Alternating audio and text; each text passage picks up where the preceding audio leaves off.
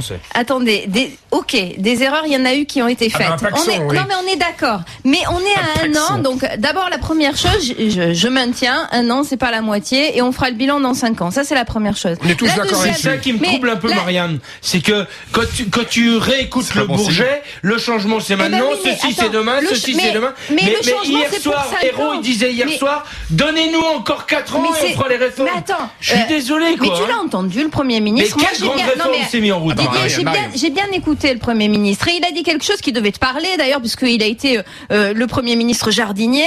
Euh, quand on commence à, à- oui. à semer, il faut attendre que ça pousse. On a un premier ministre jardinier, on a un président bricoleur. C'est attendre- Merlin, Et, le président, son, son outil attendre. le plus utilisé quand même dans sa boîte à outils, c'est le rabot, quoi. hein. Ça vous a pas échappé, quoi. Non, mais Pour les la crise, arrêtez avec la crise, parce que la crise, euh, Je tu, viens toi-même de dire qu'il n'en était pas responsable, et ça ne lui est pas imputable. C'est quand il attaque Maintenant, cœur la crise. maintenant, on peut le juger évidemment sur la façon dont il gère la crise et dont il essaye de nous en sortir, mais on sait tous très bien qu'on va pas en sortir Alors en il n'est pas, il minutes. est pas responsable de ce contexte. D'ailleurs, Voilà. peut-être qu'il avait même pas anticipé. Voilà. D'ailleurs, d'ailleurs, le gouvernement précédent non plus, puisque les, les prévisions étaient très optimistes. Il Une parenthèse quand même sur la crise. Il n'a pas parlé de la crise pendant toute la campagne de l'élection présidentielle. Il en a parlé une seule fois entre les deux tours de l'élection. Mais parce que Nicolas. Sarkozy en a Ce qui parlé. prouve que c'est un grand visionnaire.